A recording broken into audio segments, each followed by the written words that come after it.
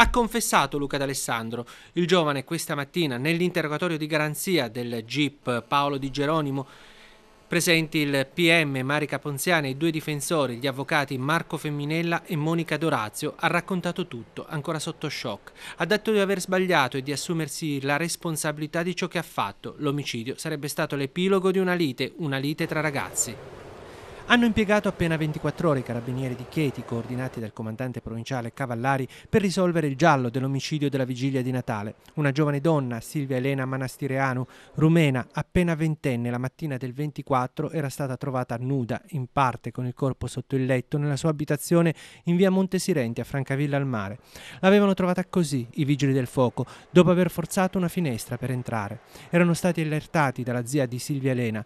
Sul balcone il cagnolino, che per tutta la la notte aveva abbaiato per chiamare l'attenzione. Troppo tardi. La ragazza, da due anni in Italia, aveva al collo evidenti segni di strozzamento.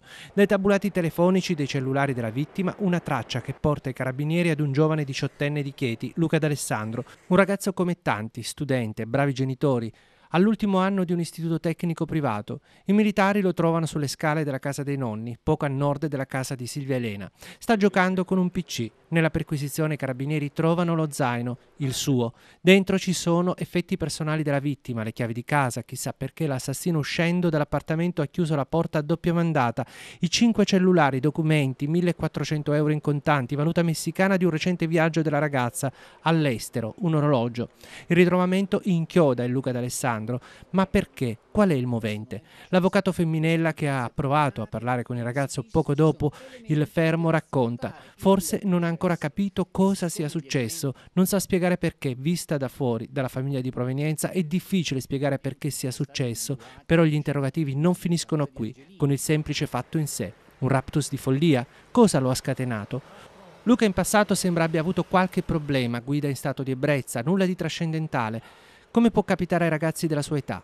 Poi tre mesi fa una crisi di rabbia, forse indotta da droghe sintetiche, si barricò in casa e dovettero intervenire i carabinieri. Il ragazzo era cambiato, era diventato chiuso, scontroso, raccontano. Qualcosa di simile la notte di venerdì 23 dicembre. Forse innamorato di Silvia Lena non sopportava di dividerla ancora con il suo lavoro di escort, con quei tre telefonini che chiamavano ad ogni ora per prendere appuntamenti?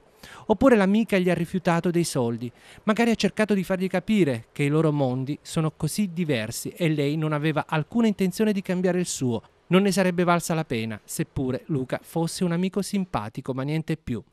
I due avrebbero litigato quella sera. I vicini raccontano di urla, almeno fino alle 22.